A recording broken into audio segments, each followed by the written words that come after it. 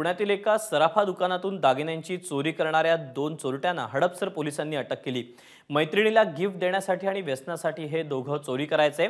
आश्चर्याची बाब म्हणजे दोघेही पुण्यातील एका नामांकित महाविद्यालयात वैद्यकीय शाखेचं शिक्षण घेतात.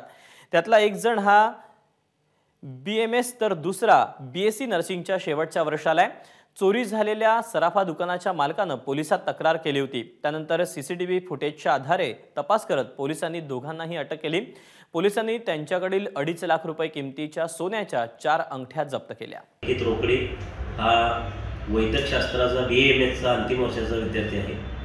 त्याचबरोबर त्याचा मित्र वैभव जगताप हा बी एस सी नर्सिंगचा अंतिम वर्षाचा मित्र. ह्या दोघांनी मिळून ह्या अंगठ्या चोरल्या होत्या.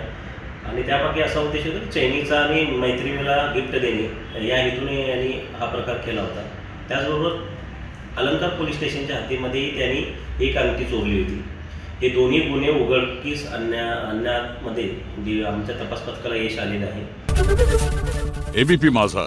उघडा डोळे बघा नीट.